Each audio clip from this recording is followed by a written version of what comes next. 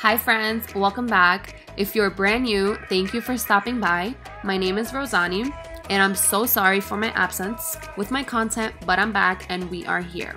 By the way, I am super sick, so please excuse my nasally congested voice. Okay, so I'm stippling foundation all over, and of course, I already primed and moisturized. All of the info will be down below. And this is actually the Maybelline Fit Me Matte and Poreless Foundation. I'm obsessed.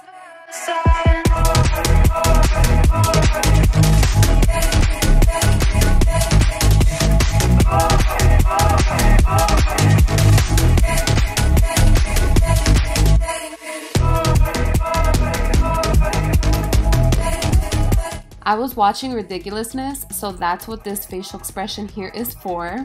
Um, I'm using the MAC Concealer Pro Longwear Concealer in the shade NW20.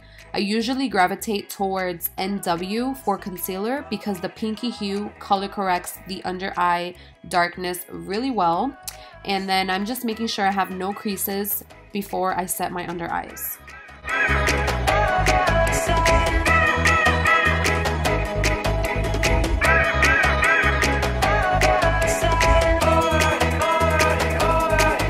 So with that Dermablend powder that you just saw, I am thoroughly setting my like most oily areas and then going over it with a large powder brush just to evenly distribute the powder and further set my entire face.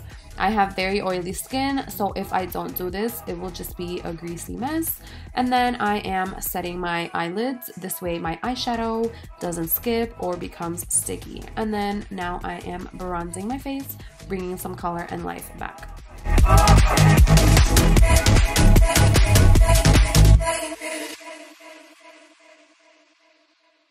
No, no, no,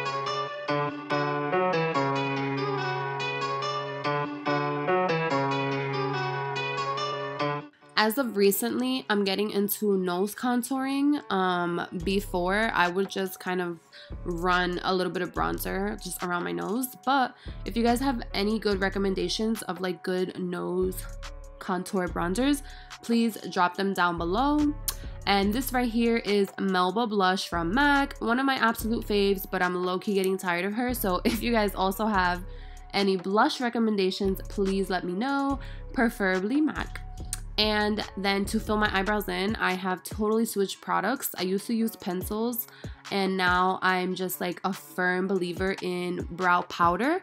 This one came in a BoxyCharm and I am obsessed.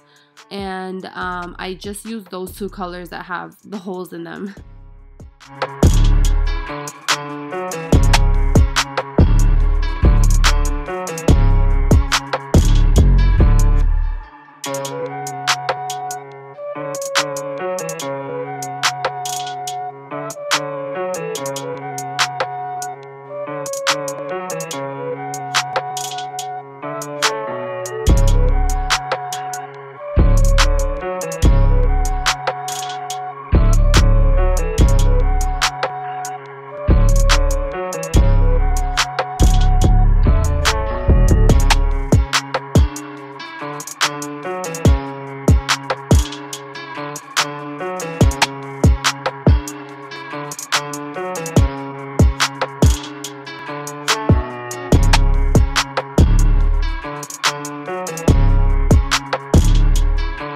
My inspiration for this eyeshadow look is Mac Daddy, aka Angel Merino, and I'm using Jeffree Star's Morphe palettes.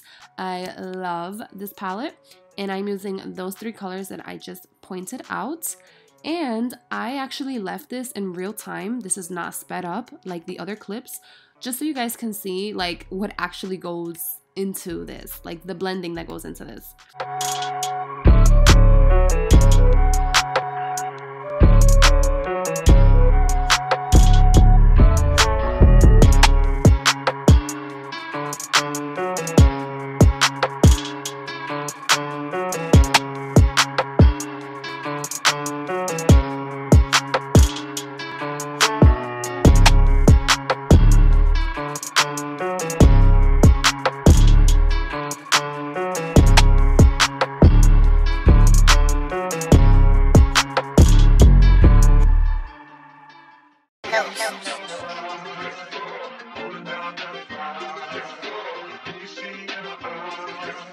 So with every different color is a different brush, at least for me. And all my eyeshadow looks for the most part are gradual. So I go from light to dark and I never overlap the color before I want every single shadow to still peek through. And I will always have like a handy, clean blending brush just to kind of blend everything together and give me like a seamless, smooth blend.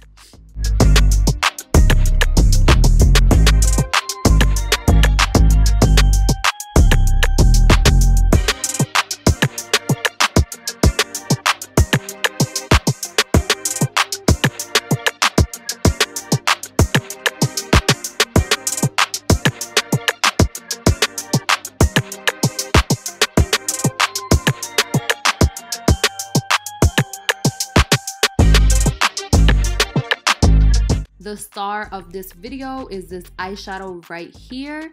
I wish I got two. It's from uh, last year's collection. It's from MAC. Um, but this formula, extra dimension foil, ugh, you guys will see. And this shadow is not wet. Like, I just really, really worked it, pat it on. Yeah, there was a little bit of fallout, which is totally normal, but you guys will see how this like glistens and all the flecks. I love this eyeshadow.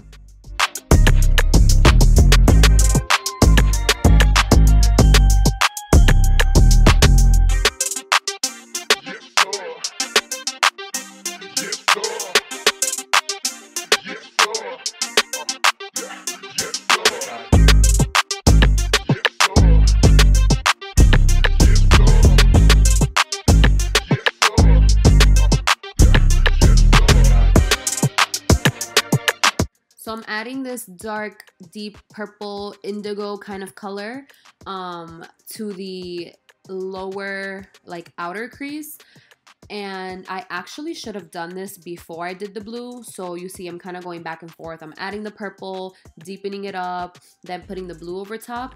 It's best to do your lid shade last. This way you don't have to go back and forth, but it's totally fine. You will see that on the other eye, before I put the blue on, I do the purple and the indigo. All this does is like dramatizes, I don't know if that's a word, but it just makes the eyeshadow look more dramatic, more depth, and gives you that smoky effect.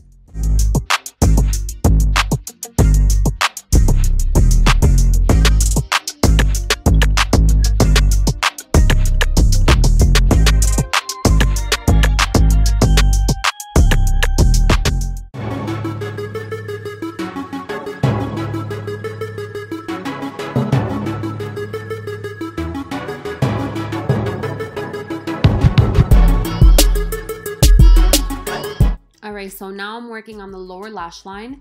First, I'm adding a blue eyeliner to my waterline, and then I'm tight lining with a black eyeliner. And then all the shadows that I did up top, I am adding to my lower lash line.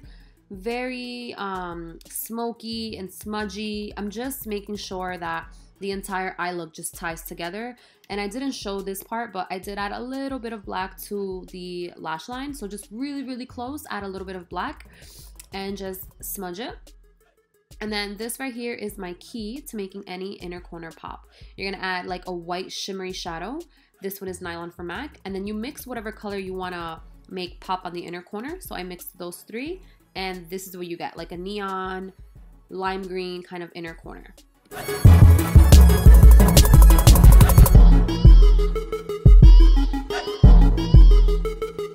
I finished the other eye off camera and I also applied my falsies. These are Intoxicating from Flutter Lashes. And then I'm to go ahead and put on a nude lip combo, of course. This is Honey Pecan Lip Liner from MAC. And then over top, I am applying Cork Lip Liner from MAC with Honeylove Lipstick, my absolute fave.